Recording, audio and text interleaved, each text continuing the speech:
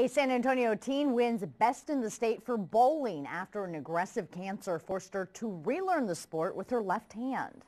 Marisa Hirschmann had the joint in her right arm removed when she was nine years old, but that didn't stop her. And less than a year after her diagnosis, Marisa was back to bowling, this time using her left hand. Earlier this month, the team competed with the team that was named best in the state. I don't think anybody should just give up on something that they love because of one little, one little, like, limitation.